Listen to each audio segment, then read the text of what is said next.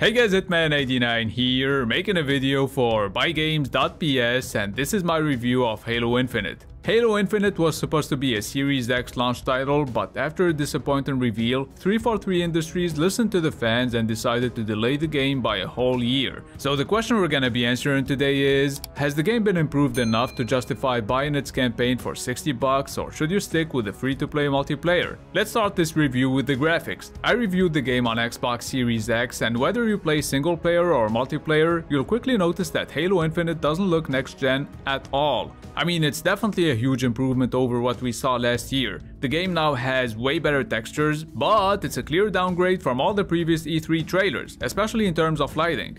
The draw distance is ridiculously low and it's particularly noticeable when using a vehicle. All around, while playing Halo Infinite, nothing really took my breath away, but that doesn't mean this isn't the crispest and sharpest looking Halo game ever. Moving on to the animations, I love the physics-based animations on this game. The way explosions send enemies flying away is always so satisfying to see. Also, the way they react when you shoot their limbs or when you throw a grenade at them is really good. Now, during cutscenes, I don't know what's wrong with the game, but animations, especially facial animations, seem laggy or choppy, which ruins the immersion. Luckily, the devs said they were already working on a fix, so maybe in a couple of days we won't see this issue anymore. And now let's take a closer look at the performance. There are two graphics modes to choose from. Quality mode runs at 60 FPS in a dynamic 4K resolution. Performance mode on the other hand targets 120 20 frames per second at the cost of graphics. And in my opinion, it's not worth it because the game rarely runs at the targeted frame rate anyways, so you're better off picking quality mode. If you're on Series S or Xbox One X though, you get to choose between 30 and 60 FPS. Last but not least, on the regular Xbox One, you only get 30 FPS. And by the way, you should know that Halo Infinite has slight performance issues on all platforms, so keep that in mind.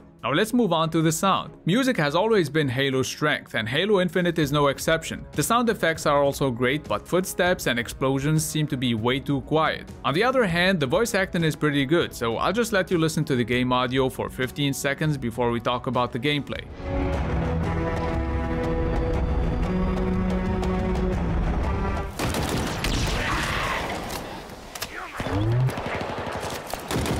This is all her fault!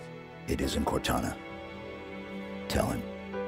But it's classified. Halo Infinite's main new thing is its open world, featuring a full day-night cycle and plenty of side missions like distress calls, towers and forward operating bases or FOBs to capture. So let's dive deeper into the gameplay and let's start with the good stuff. The addition of a grappling hook made the gameplay feel fresh again with some new cool moves that feel and look so good when executed properly. And it seems to be pretty rare to have decent AI in games nowadays, so I thought this was worth mentioning. Cause even on the regular difficulty level, you're gonna die a lot. Most enemies are challenging and they feel kinda smart, apart from brutes who tend to be extremely dumb, but I don't know if that's intentional or not since, you know, they're called brutes.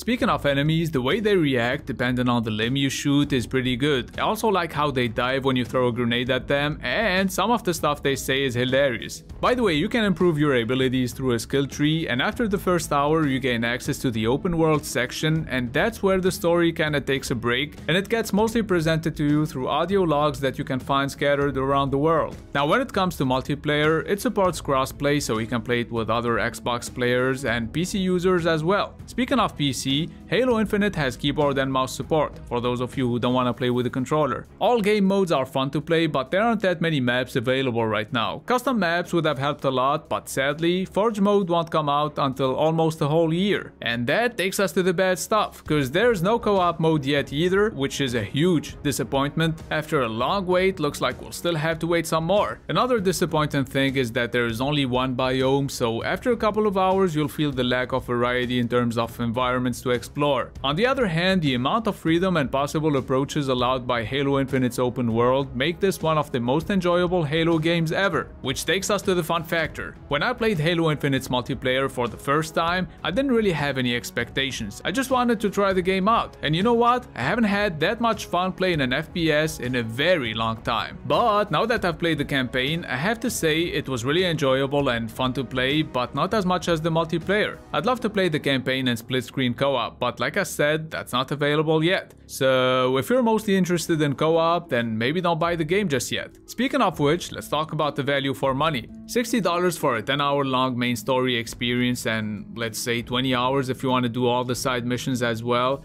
might sound like a little too much and if the multiplayer part was also included it would have made buying the game even more worth it. I'm not gonna complain about multiplayer being free though, that's awesome. So if I were you, I'd probably only get the campaign through Game Pass, or if you want to keep your games forever and you can grab Halo Infinite for 50 bucks or less, then go for it. Even though it suffers from a severe lack of environmental variety, an okay story at best and no co-op at launch, Halo Infinite is still extremely fun to play, looks good, sounds awesome, and it's the best first-person shooter of 2021. And that's why I'm giving it an 8.5 out of 10. With co-op and a couple of patches, this could easily be a 9. And that's gonna be it for my Halo Infinite review. If you played the game, let me know what you think of it in the comments down below. And if you guys wanna get all the games you want for cheap, head over to buygames.ps, the best website that sells PlayStation and Xbox games for amazingly low prices, and they're the only ones that offer a lifetime warranty on all of their products. Their link is in the description, so check them out. I hope you found this video useful. Don't forget to subscribe if you're new to the channel. It's been Hitman89. See you guys guys very soon.